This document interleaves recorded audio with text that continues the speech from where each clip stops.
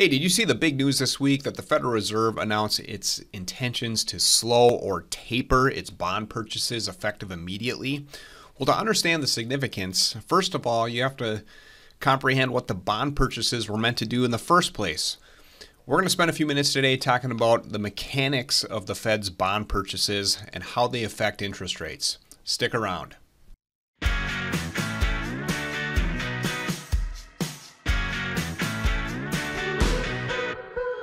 So, over the course of 2021, Wall Street's really been obsessing over the pace of bond purchases by the Federal Reserve, specifically when that pace is going to slow. But as a result, I've had a lot of inquiries. People have asked me to create a video about the mechanics of bond purchases and how they affect interest rates. And to be honest, I've had to spend a lot of time thinking about how to explain this in simple terms because you really need some foundational knowledge to comprehend the broader concept. So we really need to start with kind of two sub concepts. Uh, the first being the risk free rate of return, and the second, how debt pricing works in the investment world. So actually, let's take those in reverse, starting with how debt is priced. Now, a large percentage of loans originated by banks are sold to investors, and you may have experienced this yourself if you've ever taken out a mortgage and a few months after you close, you get a notification that says, hey, your loan's been sold. What it doesn't say on there is the price that the loan was sold for. Now, the way debt is priced and how pricing affects yields or effective interest rates can be confusing because it's a bit counterintuitive, and so can some of the language. So, for, for instance, I just said yields or effective interest rates. I'm going to use those phrases or words kind of interchangeably, so I'll try to clarify as much as possible. But I want to start out with an example. Uh, let's just say a bank makes a loan for a million dollars to someone who wants to buy a commercial property. And again, just for the sake of simplicity, let's assume that this loan has a one year term. Now, let's also assume, like we talked about before, that this loan is ultimately sold to investors. So, for instance, let's say the loan in this top scenario is sold to an investor for a million dollars. So the loan, the face value of the loan is a million bucks, and the investor pays a million bucks to the bank for it. Well, how does that work out? Well, the investor is going to get 5% of the million dollar face value or 50,000 bucks. So ultimately, they're going to end up with a 5% total return. Now, this is where it can get confusing. There are good reasons why an investor might sometimes be willing to pay a premium for a loan. So, for instance, let's look at this sec- the second scenario where an investor pays a million twenty thousand dollars for a loan that is only going to pay back a million dollars at maturity. Well, they're still going to earn their $50,000, the 5% of the million dollar loan principal. So we can do the math and calculate that even though the investor paid a premium for the loan, the interest payment again is still high enough where the investor is going to end up with a positive return or a positive yield. So the most important point here to understand is that when the price of debt increases, the yield or effective interest rate goes down.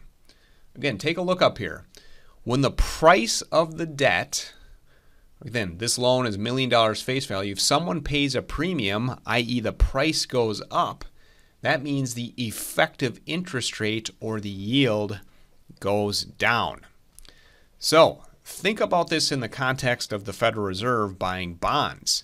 If they want interest rates to go down, what is their objective? They need the prices of bonds to go up. This is the mechanics that you have to understand to, to comprehend the whole bond buying concept. So we talked about the mechanics of debt pricing. When the price of debt goes up, interest rates go down and vice versa. And this also gets confusing because we're not, when I say price of debt, I'm not talking about the borrowing cost. I'm talking about the price of debt to an investor purchasing a debt security. Sorry the, for the jargon, it's difficult. Let's pivot and talk about the concept of the so called risk free rate of return. In the lending market, loans are basically all priced off some benchmark interest rate. And generally speaking, U.S. government debt or bonds are generally considered risk free. Therefore, everything, generally speaking, is priced off the current interest rate being paid on government debt.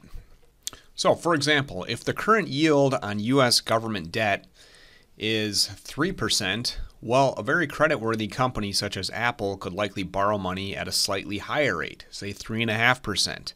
A company considered more risky may have to pay 5%, and so forth. And you can see this as stuff's published daily in publications like the Wall Street Journal.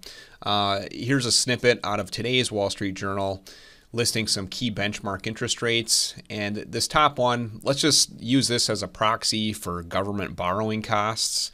And that's not quite accurate, but this illustrates my point.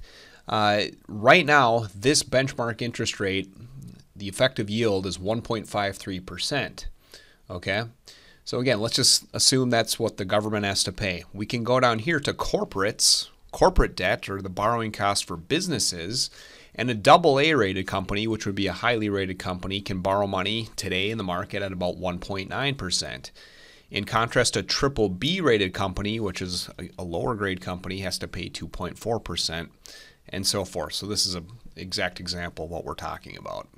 So let's tie this all together. If the Federal Reserve wants to provide support for the economy via lower interest rate, what does it need to do? Well, conceptually, it needs to bring the effective interest rate on U.S. Treasury debt down because, again, as we illustrated, everything is benchmarked off this. So if the Fed, for instance, pushed government borrowing costs down to 1%, you know, then a company like Apple, for example, probably can borrow money at 1.5%. And the riskier company, uh, instead of paying, say, 5%, might be able to now borrow at 3%. And of course, the same effect plays through uh, with consumers on mortgages, car loans, and so forth. Now, mechanically, how does the Fed push rates down? Well, if we go back to our example, remember, if the price of debt goes up, the effective yield or interest rate goes down. So, if someone like the Federal Reserve wants the price of debt or any asset for that matter to increase, they have to increase demand, or in other words, they have to start buying. And buying is exactly what the Federal Reserve has been doing. In fact, since June of 2020, the Federal Reserve has been buying $120 billion worth of bonds every single month, again, in an effort to push prices up, especially across government bonds, which serve as that risk free rate or that benchmark rate. By pushing those prices up, it pushes interest rates down on that key benchmark rate, and that reverberates across the entire lending the, the entire lending market, and ultimately helps the economy as borrowing costs for everybody go down. Wow, we made it through. This was a really difficult one to try to explain with as little financial jargon, trying to narrow it down from a time perspective as well.